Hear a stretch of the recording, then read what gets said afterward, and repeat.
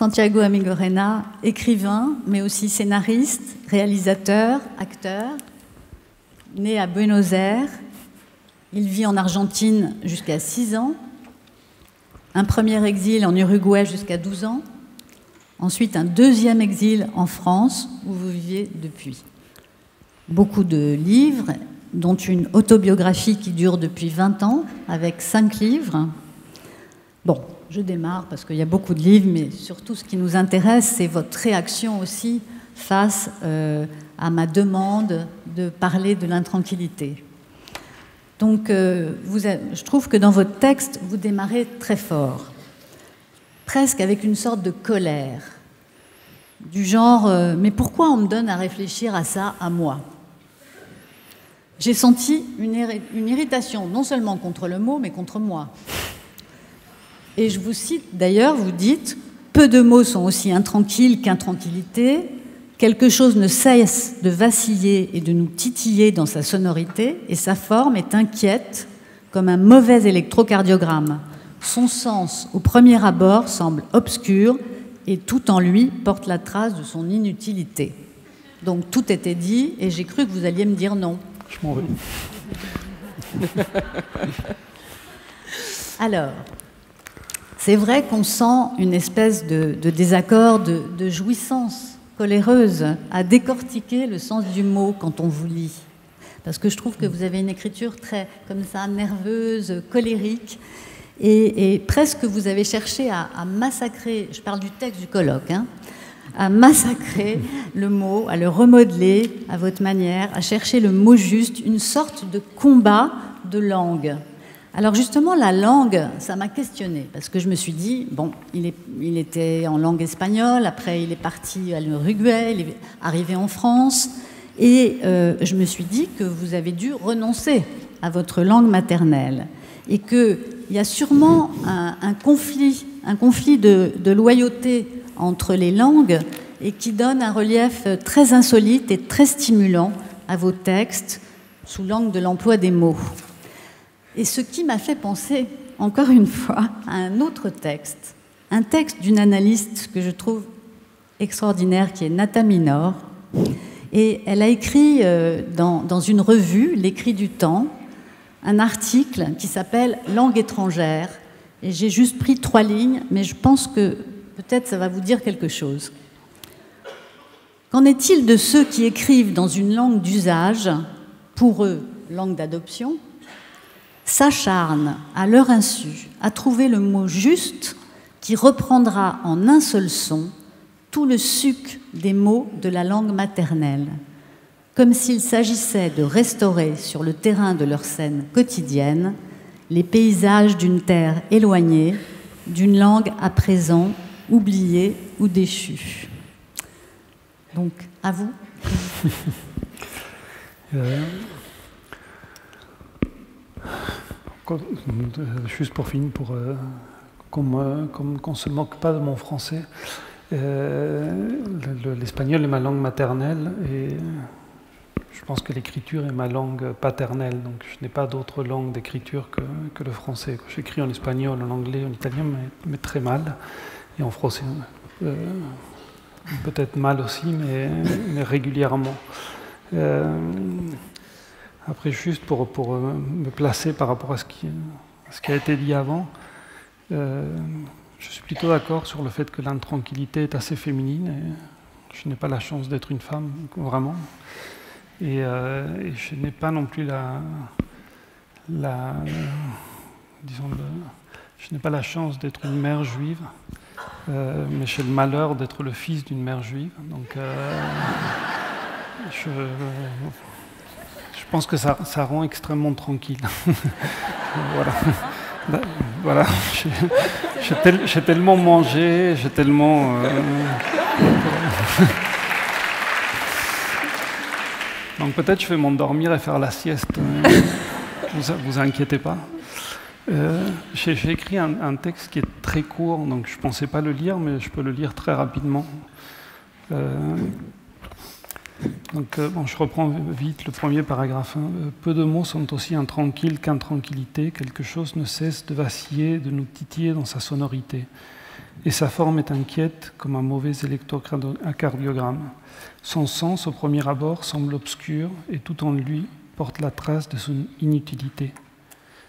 Pourquoi avoir forgé ce mot alors qu'il existe des mots pleins de fièvre et de furie comme fougueux ou frénétique, des mots plats, blancs, presque fades comme agité ou excité, des mots crépusculaires un peu âcres comme anxieux, et des mots qui galopent comme tourmentés ou turbulents, et des mots maritimes qui sentent le large comme tumultueux. Pourquoi avoir forgé ce mot alors qu'il en existe tant d'autres pour décrire ce qui n'est pas tranquille? Intranquillité à mes oreilles définit pourtant tout autre chose que tous ces antonymes de tranquille. Dans l'intranquillité, j'entends plus qu'un état, plus qu'un sentiment ou une sensation, l'impossibilité de s'en tenir à un autre état, à un autre sentiment, à une autre sensation. L'intranquillité existe pour dire ce qui, dans l'homme, étant solide, sera toujours différent de la pierre, ce qui, étant vert, sera toujours différent du poireau, ce qui, étant lent, sera toujours différent de l'escargot. Ce qui, étant vif et dangereux, sera toujours différent du serpent. La mélancolie, depuis bien avant Burton, est une maladie qui nous permet aussi de sentir quelque chose du monde qui nous emporte au-delà de nous-mêmes. Nous rendant incapables de toucher au réel, la mélancolie nous force à forger des œuvres qui le récréent. Maladie de l'impuissance, la mélancolie nous rend tout puissants. L'intranquillité, à son intranquille manière, possède aussi une double nature. Elle se terre au fond des êtres les plus humbles pour leur montrer qu'étant semblables à tous les autres êtres, ils sont pourtant uniques. L'intranquillité est ce qui veille dans le sommeil. L'intranquillité est cette petite brèche, cette petite lézarde, pimpante et joyeuse comme un reptile, qui fait frémir toute identité. L'intranquillité est ce frémissement qui ne s'arrête jamais tout à fait et qui rappelle à chacun esclaves, petits bourgeois, employés de banque, clercs de notaire, Bernardo Soares, Bloom, qu'il porte en lui-même quelque chose de grandiose, quelque chose d'épique. L'homme s'ennuie. Selon Jacob van Skull et Georges Agamben, c'est ce qui le différencie de la tique. L'homme est intranquille, c'est ce qui le différencie de lui-même. Et donc je vais continuer à dire pourquoi ce mot me semble je l'ai entendu, en tout cas moi, euh, très directement euh, comme euh, lié et opposé à la, à la mélancolie. Donc je sais que Muriel a parlé de ça dans l'introduction du, du, colloque. et bon, pour aussi reprendre Sandrine, le, fait qu'il n'y ait presque rien de, de, théorique écrit sur le mot intranquillité rend n'importe quel débat très étrange, parce qu'en fait, on, ne peut qu'inventer son sens et le, rapporter à quelque chose de personnel. Euh, et, pardon, je fais encore une petite parenthèse sur ce qui a été dit avant, c'est que c'est euh, extrêmement touchant de parler de soi. Moi, j'ai le malheur de le faire dans tous mes livres tout le temps, et là, je n'ai pas j'ai rien senti qui pouvait se rattacher à moi dans, dans l'intranquillité. C'est-à-dire que la, suite que je fais, disons, c'est que je pense que j'écris par mélancolie, c'est-à-dire que la mélancolie est un sentiment qui, en même temps, euh, m'éloignant du monde, me faisant sentir que, tout est inutile, me pousse à écrire et à faire quelque chose de cette euh, inutilité. Et ce que moi j'ai entendu dans l'intranquillité, c'est plus comme une, nouvelle forme de mélancolie qui serait due à, la modernité, à, la postmodernité peut-être, et qui fait que ce sentiment de dépossession qu'était la, la mélancolie nous était pris. On était dépossédé de cette dernière manière de sentir qu'on ne possédait pas. Et que dans, l'intranquillité, pour moi les grandes figures, c'est c'est donc euh, Bloom dans, dans, Ulysse de Joyce ou euh, L'homme sans qualité de musique. on, pourrait faire une, longue généalogie, Bartleby de Melville. Il, y a, tout un tas de personnages, disons, post-révolution industrielle, qui sont des êtres humains qui se sentent uniques, qui gardent ce sentiment de de, de, grandiose de l'être humain et en même temps qui ne peuvent rien en faire. Comme si, euh, je, continue à parler vraiment sans, sans beaucoup de filets théoriques, comme si jusqu'à Baudelaire ou jusqu'au spleen, euh, la mélancolie avait permis la création, c'est-à-dire que le sentiment de ne rien, de ne pas toucher le réel permettait de créer, mais qu'à partir d'un certain moment, parce que l'homme a été dépossédé des objets qu'il fait, c'est-à-dire parce qu'on a cessé de fabriquer, parce que voilà, euh, l'argent a pris la place de, cette forme d'appropriation du monde. Bon, je ne veux pas m'étendre sur la société du spectacle, etc., etc. Mais à partir de ce moment-là, la seule chose qu'on pouvait revendiquer quand on n'a plus rien et quand on ne fait rien, c'est de se sentir encore intranquille. Euh, donc voilà, c'est une parole euh, horriblement masculine et, et, euh, répue. c'est ce que j'entendais par intranquillité. encore, encore qu'en l'occurrence, Bartleby, il soit très tranquille.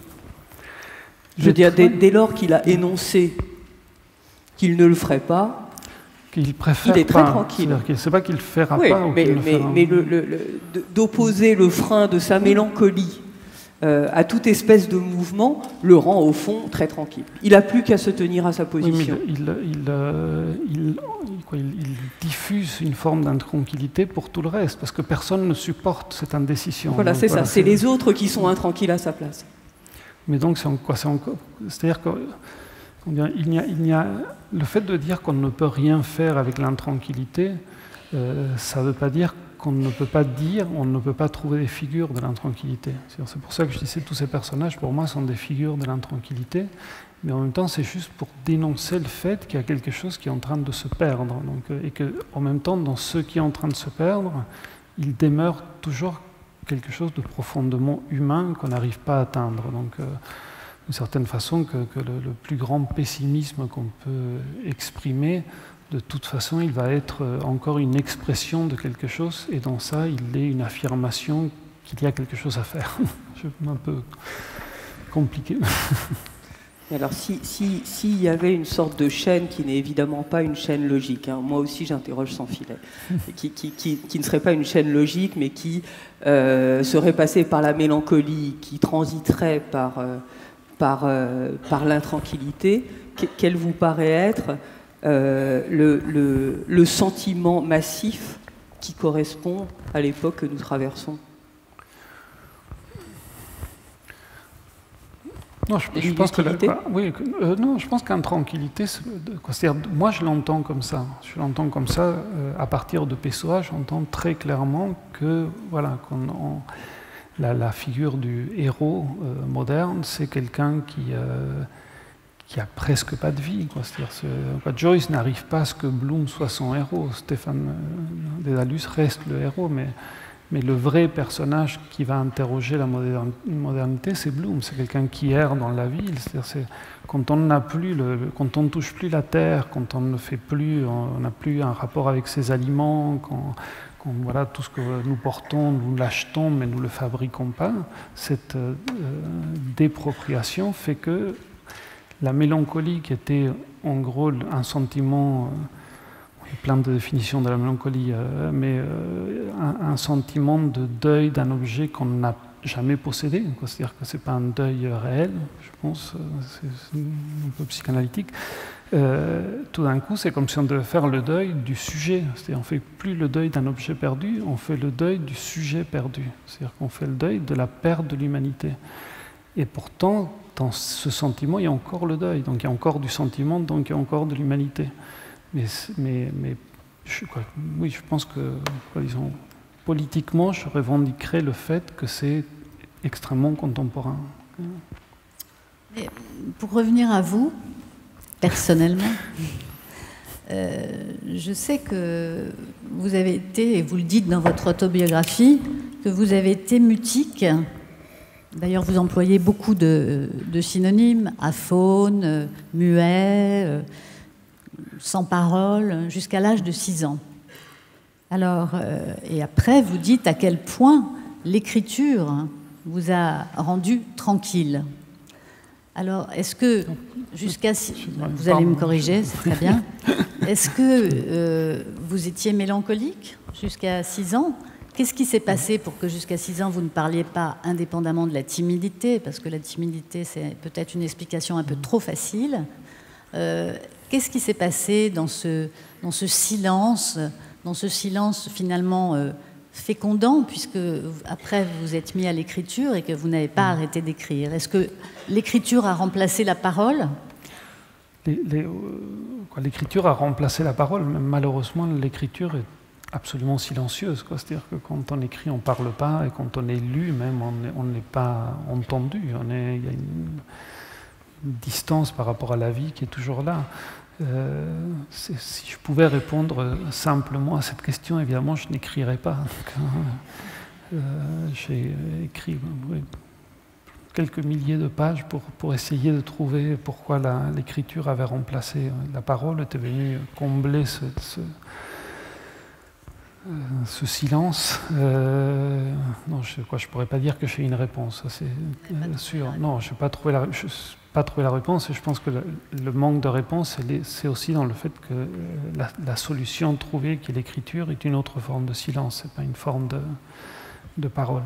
Alors, il y a aussi une autre forme d'intranquillité qui, que vous avez et que, que je connais aussi, c'est euh, parce que ça me fait penser à vos départs euh, multiples euh, pendant que vous étiez petit.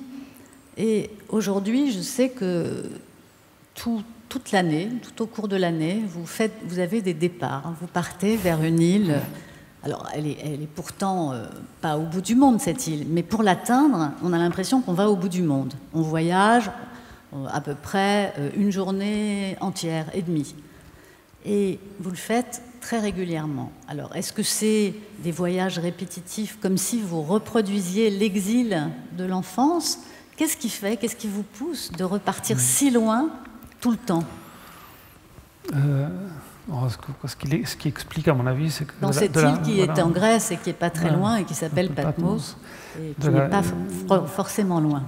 Oui, mais qui n'est pas qui n'est pas anonyme non plus, parce que c'est une île d'exil euh, depuis, euh, depuis 20 siècles, euh, et une île d'écriture, parce qu'il y, y a, quelques textes pas inintéressants qui ont été écrits là-bas ou sur Patmos.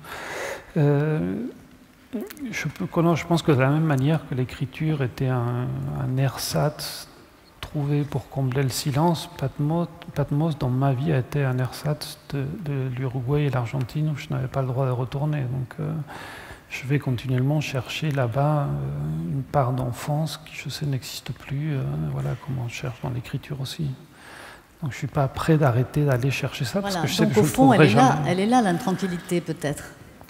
oui, c'est possible que soit une, qu'il y ait quelque chose d'intranquille qui provoque tout ça. Mais, mais dans le quotidien, c'est vrai que je, je, suis assez d'accord que c'est un sentiment qui m'est un peu étranger, que c'est peut-être dû à, un mauvais côté de, de fils de mère juive, euh, ayant bien mangé.